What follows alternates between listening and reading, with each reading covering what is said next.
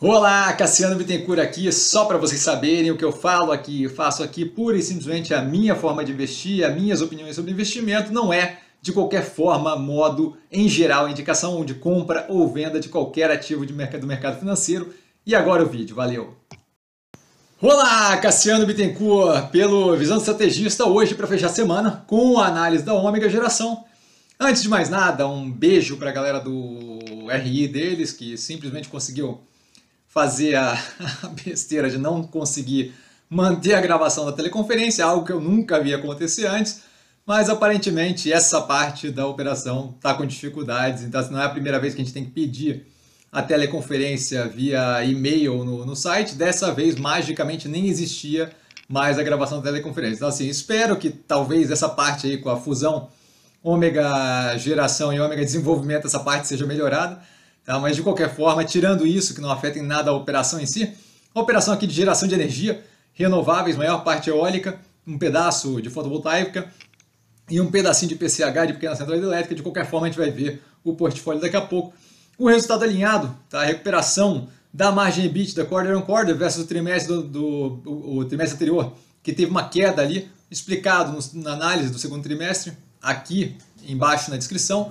Tá? Lucro líquido afetado por não recorrentes nesse trimestre e também questão de inflação é, e aumento ali no, na indexação dos, das despesas financeiras, é, que mais, é, mais importante vão ter é, a, desculpa, a compensação no ano que vem, de 2022. Então não é como se fosse algo preocupante, só está adiando aquele resultado líquido. Tá? Vemos aí basicamente a, quantidade, a continuidade da tese com desconto no preço que está assim, é, talvez menos derretido do que outros ativos do portfólio, mas ainda assim muito derretido. Tá? Nesse trimestre, a gente teve a definição da fusão é, ômega geração com ômega desenvolvimento, tá? e ela vai virar ômega energia. Tá? Alguns pontos aí justamente colocados pela gestão na tela.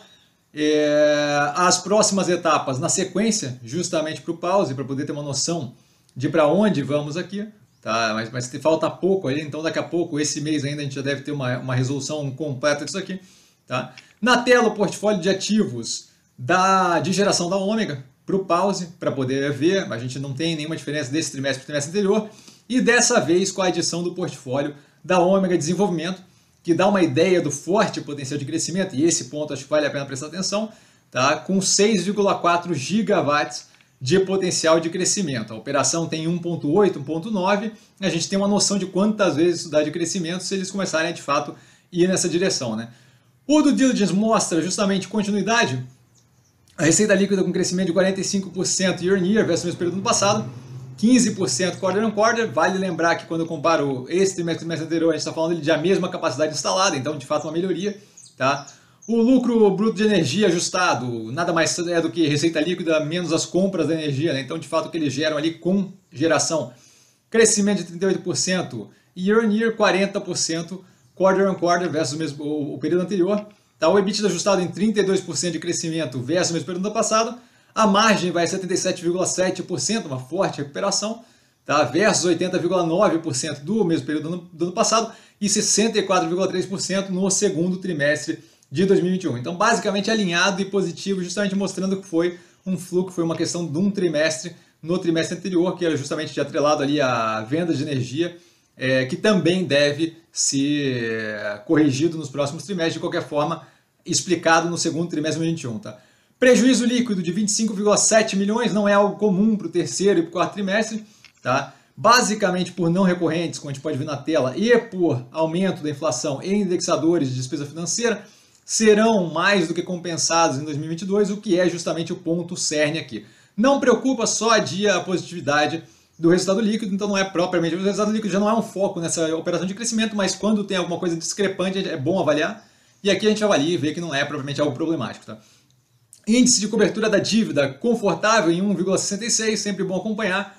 A alavancagem reduzindo mais um pouco ainda, tá? nesse trimestre para o trimestre anterior, de 4,92 vezes, desculpa, para 4,56 vezes nesse trimestre, casada com a estratégia de crescimento por alavancagem, não preocupe, então é natural que essa operação tenha uma alavancagem um pouco mais forte, mantendo o custo de carregamento controlado, como a gente consegue ver na tela, um delta subido agora, mas assim, se a gente vê os últimos períodos, a gente vê que mesmo com subida de juros e inflação, ela está conseguindo manter ali uma estabilidade considerável nessa, nesse custo é, médio do endividamento. O caixa de aproximadamente um bi cobre com fogo um período considerável da, do cronograma de, de amortização. Tá? Então, de fato, zero preocupado. É mais uma questão de justamente acompanhar a evolução da operação, mas não estou propriamente preocupado. A minha posição está aqui do lado, tá? zero preocupado com ativo, médio e longo prazo bem positivo, ainda um espaço muito grande para correr aqui. Tá? A operação é resiliente, eu gosto da agressividade do crescimento, tá? a gente deve ver uma continuidade na adição de projetos, e especialmente com a fusão com a Ômega Desenvolvimento, que deve justamente acelerar a capacidade de avaliação e, e até assim é, entrosamento entre as duas operações, né, que desenvolve e aqui efetivamente cuida da geração. Ótimo longo prazo, tá lidando muito bem com liability management, com gerenciamento de endividamento, como a gente pode ver justamente pelo custo controlado, os prazos ali é, com um alongamento das dívidas bem positivo, zero preocupado. Está feliz com as expansões e com a seriedade da gestão. Dúvida? Eu estou sempre no Instagram, arroba investir com sim, não trago a pessoa amada, mas estou sempre lá tirando dúvida. E vale lembrar que quem aprende a pensar bolsa opera com o primeiro detalhe, como vocês podem ver, eu tô que é o pó da rabiola. Amanhã, às 10 da manhã, nós temos a live by Warren. E na sequência, meio-dia, o Compondo a Tese. Um grande abraço, um beijo para todo mundo aí. Mais uma análise bem curtinha. Valeu, galera!